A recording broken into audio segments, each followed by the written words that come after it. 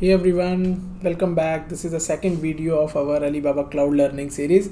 In this video, I am going to share how you can secure your freshly new created Alibaba Cloud account.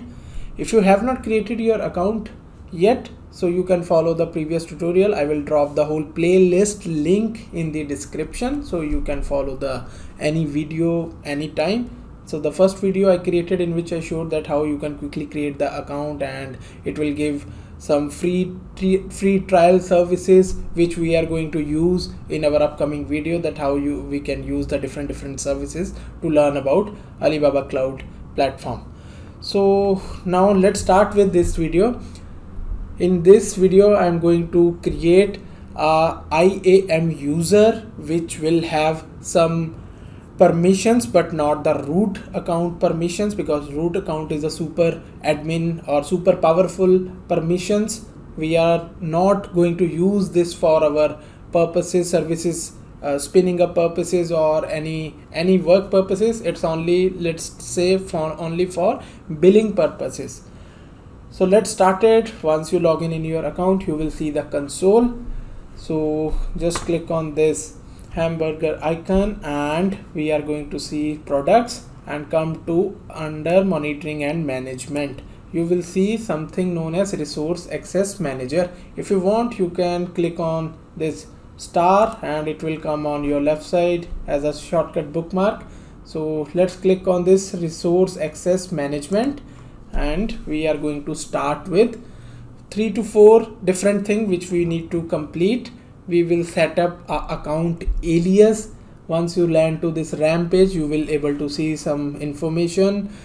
This one is the important because for IAM user or for this RAM users you need to have this domain to log in into this account. By default when you see so this is the 16 digit Alibaba cloud platform account number which is assigned to my this new account. We can copy say copy this and use this but to make the things easy to make the things easily memorable we can make it as a human friendly name. Rather than the account number I am going to add this DC on cloud. Then my login will be dc on cloud dot on aliyun.com then it will ask me for the username and password for iam user. Keep remember by using this domain alias you are not going to use your root account credentials.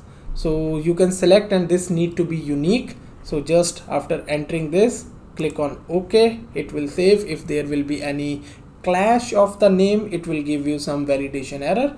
You can make a change and keep remember to copy this. I am just copying and saving it in my notepad for the future use. We are going to create the group and we are going to complete couple of tasks before going to log in with our IAM user. So let's get started. First, I would like to go to settings and I would like to show that you can put the password rule. That is that is important because password rule if you don't want that user will use only simple text password. This is a place you can set up that you want the mix of all these lowercase uppercase number symbols and some other options are there even validity of this password. And important thing is if you want to make the things more secure that you can put this as a yes that so one so one cannot use their username as their password or the you whatever the username assigned to a user will not be part of password so you can play with these options and then after that you can click on ok. So i am okay that minimum 8 uh, 8 character and maximum 32 character. I am fine with that. I am going to now create my first user.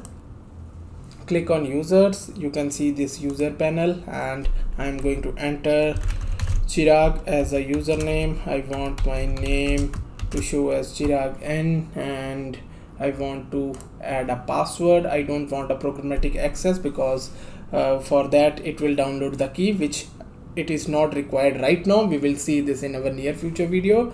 And I am going to set a custom password.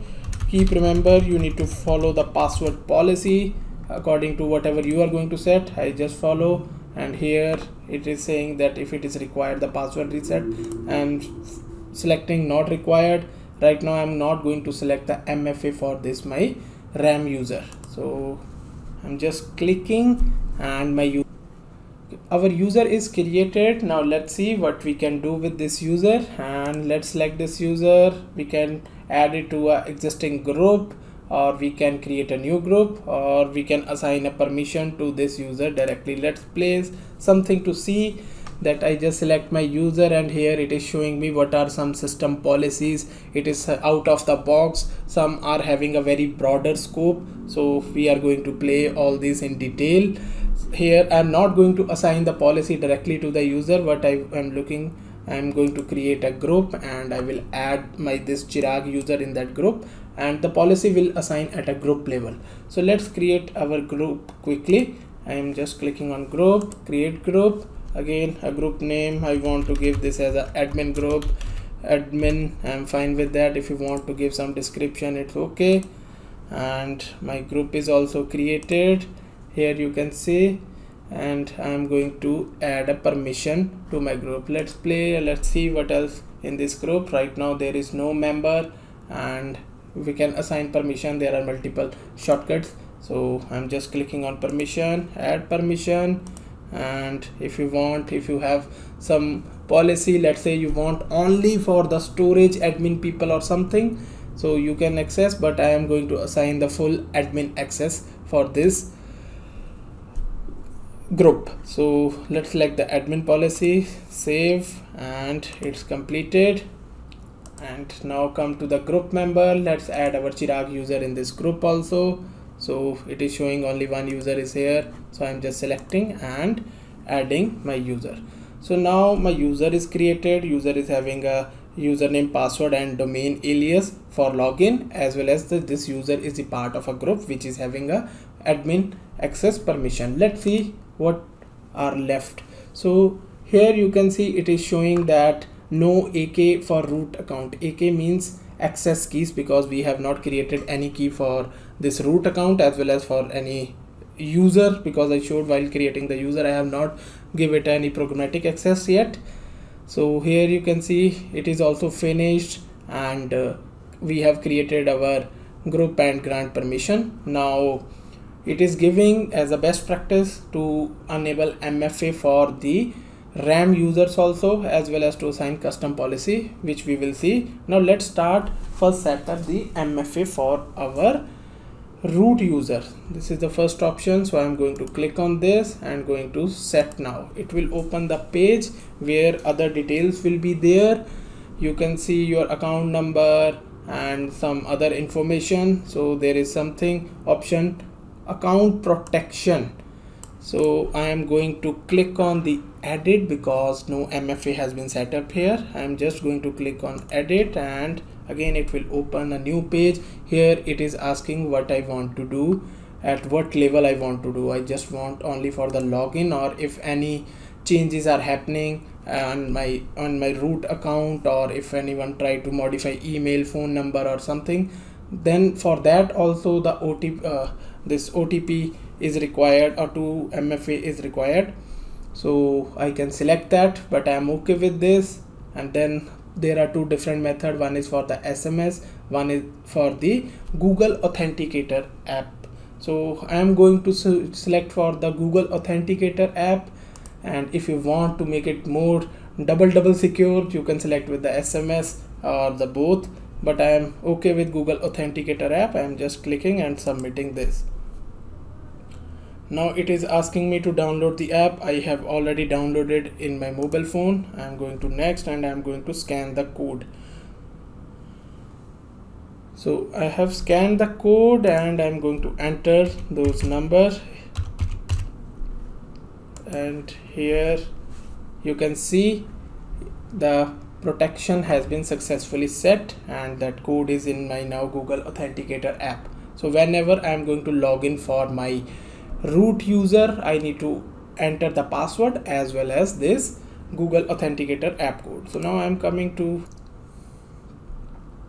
once the app is set up here you can see it will show the status already set. So now what I'm going to quickly do because I don't want to set the MFA for my RAM user I'm going to log out from this account and going to go, going to log in with my ram domain alias as well as the account which I created with the admin access. So let me quickly copy my link and paste and it will ask for our login. Here I'm going to enter my RAM user and I'm going to enter my super secret password here and just going to click on log on and let's wait for a couple of seconds and here we go. Here you can see we entered in our console and this user is having a full after you log in with your ram user let's see one another service which is helpful for auditing purposes to know about the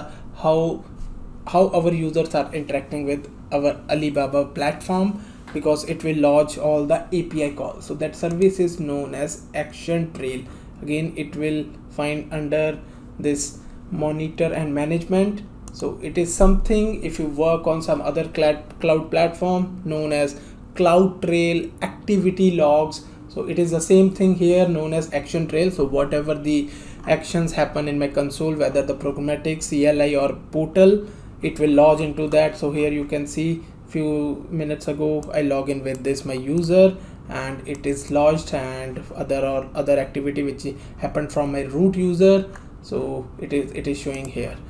So that's about all about this video. I am going to proceed to create some other resources in our upcoming video. So stay tuned and subscribe to this channel and share in your circle.